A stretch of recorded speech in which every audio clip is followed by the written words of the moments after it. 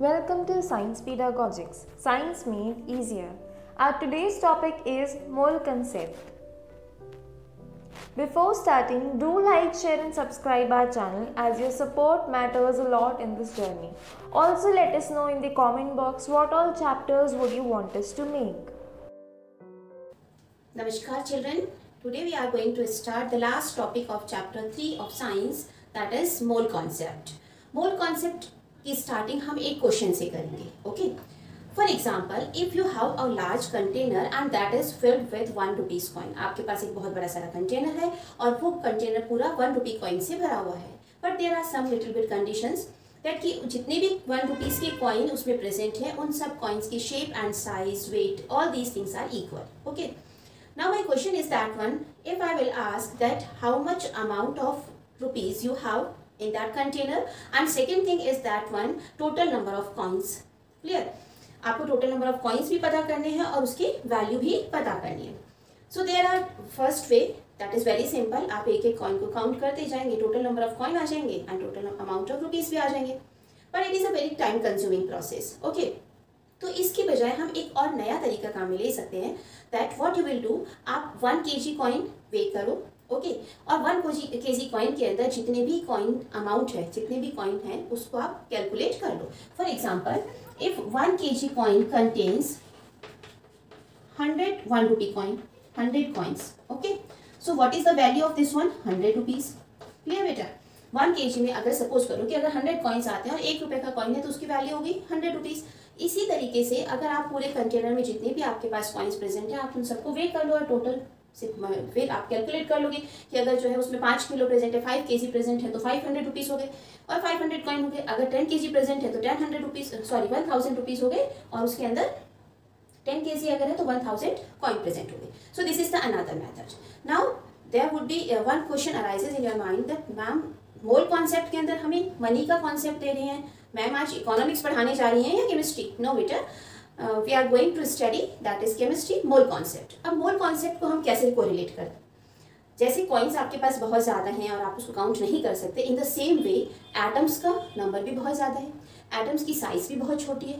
Atoms we can not see with our naked eyes अब ये सारी कंडीशंस अगर एटम पर अप्लाई होती हैं तो हम एटम को काउंट करना या कितना हमने किसी भी सब्सटेंस में कितने एटम्स प्रेजेंट हैं, ये सब काम करना बहुत डिफ़िकल्ट टास्क है। For example now let start with the chemistry example when nitrogen reacts with hydrogen okay बेटा? जब नाइट्रोजन जो है गैस हाइड्रोजन गैस से रिएक्ट करती है तो इस कंडीशन में हमें किसका फॉर्मेशन होता है? That is ammonia gas This is a very simple reaction when one molecule of nitrogen reacts with three molecules of hydrogen. In this reaction, two molecules of ammonia gas is formed. Okay. It means यहाँ पर हम जो reaction लिख रहे हैं जो reaction हम यहाँ लिखते हैं वो क्या क्या यूज़ करके लिखते हैं? That number of reactant is equal to number of product atoms he balance करते हैं okay but if I would say कि बेटा ये रिएक्शन अब आप केमिस्ट्री लैब में परफॉर्म करो। मैंने ये आपको हाइड्रोजन गैस दे दी this I have given nitrogen gas proper conditions available है आपकी, उस कंडीशन में इन दोनों गैसेस को रिएक्शन कराओ अमोनिया गैस का फॉर्मेशन होगा।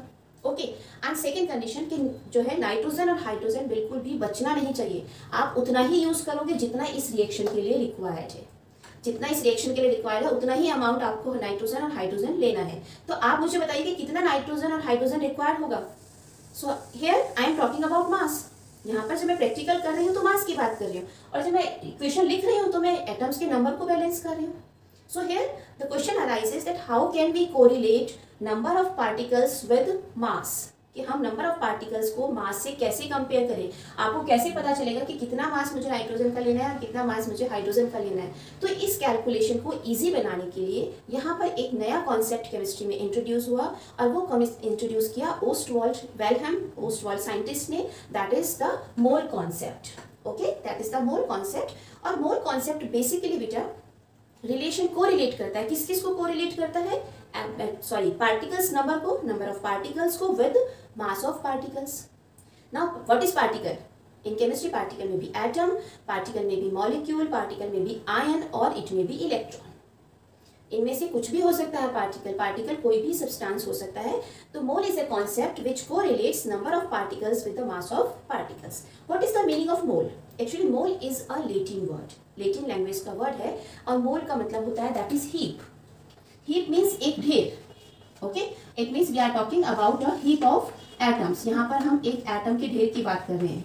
ओके अब मोल क्या बताते हैं हमें कि इस हीप के अंदर कितने एटम्स प्रेजेंट हैं और उन एटम्स का वेट क्या है? उन एटम्स का सॉरी उन एटम्स का मास क्या है? ये मोल कॉन्सेप्ट जो है वो क्लियर करता है। So let us define mole. One mole is the amount of substance one mole क्या है? किसी भी सब्सटेंस का वो अमाउंट है विच कंटेन्स जिसमें प्रेजेंट होते हैं same number of particles means किसी भी सब्सटेंस के गिवन मास में for example that we have x gram of any substance okay अब एक्स ग्राम किसी भी सब्सटेंस के अंदर कितने नंबर प्रेजेंट होंगे? That is n n number of particles are present तो ये नंबर ऑफ़ पार्टिकल्स जो है वो एन नंबर ऑफ़ पार्टिकल्स किसके इक्वल होने चाहिए? These particles as there are C twelve carbon atom in twelve gram of carbon यानी carbon twelve atom C twelve का जो कार्बन आइसोटोप है इस आइसोटोप के ट्वेल्व ग्राम में इस आइसोटोप के ट्वेल्व ग्राम के अंदर जितने का, कार्बन के एटम्स प्रेजेंट हैं जितने कार्बन के एटम्स प्रेजेंट हैं ओके उतने ही कार्बन उतने ही एटम्स इस सब्सटेंस के एक्स ग्राम में प्रेजेंट होने चाहिए। I am repeating again that mole is the amount of substance one mole one mole is the amount of substance that may be x gram okay x gram किसी भी substance का वो amount जिसमें number of atoms कितने present होने चाहिए, जितने की कार्बन ट्वेल्व के ट्वेल्व ग्राम में प्रेजेंट है ओके okay? उतने ही एटम इट मीन्स यहाँ पर n is the number of particle which is equal to number of atoms present in 12 gram of carbon atom okay for example अब carbon 12 C12 के 12 gram atom है। 12 gram में कितने atoms present हैं? C12 isotope है okay okay? इसके 12 gram में एक नंबर है fix number of atoms present होते हैं।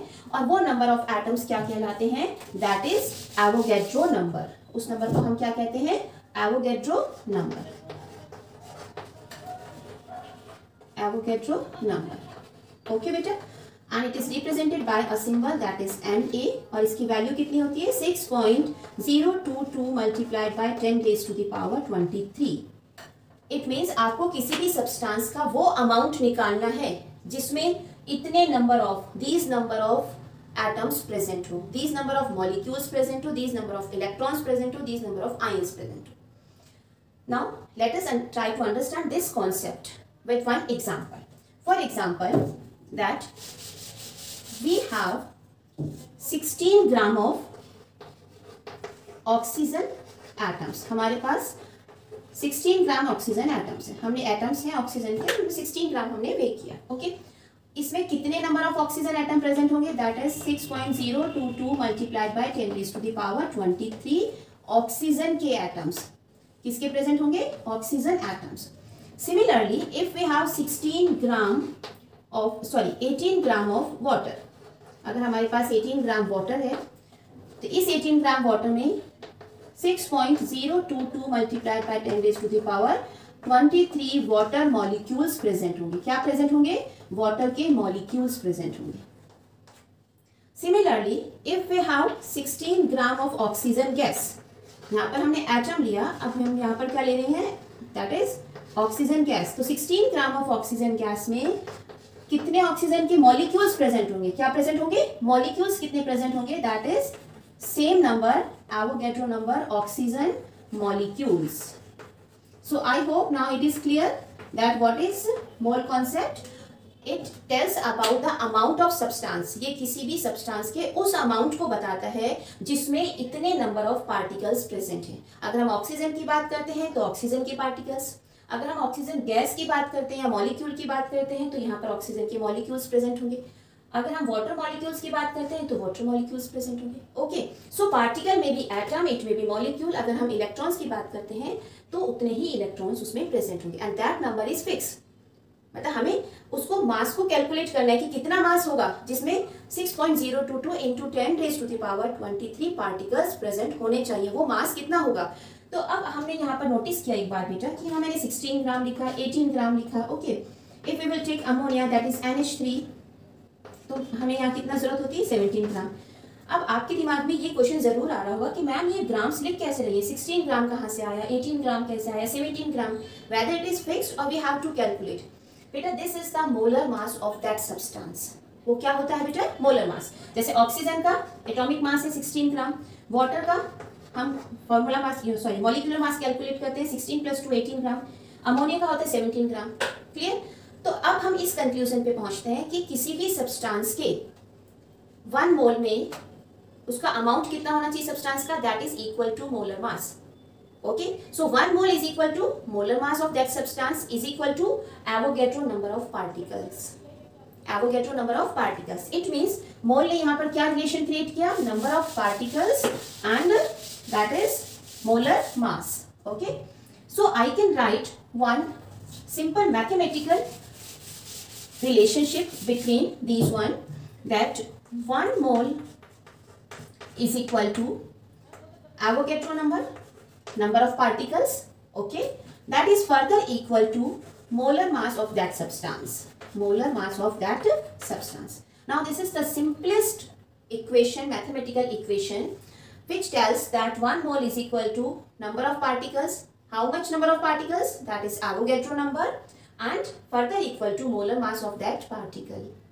Molar mass of that particle अब पार्टिकल की बात करेंगे तो वापस रिपीट करती हूँ particle means atom it may be molecule it may be compound it may be element और it may be ion it may be electron कुछ भी हो सकता है okay now we have one more formula that I'm just going to write here, that 1 mole is equal to given mass given mass divided by molar mass. किसी भी substance का जो given mass है, उसको आपको किससे डिवाइड करना है? Molar mass of that substance और मोलर मास किसी भी सब्सटेंस का फिक्स रहता है.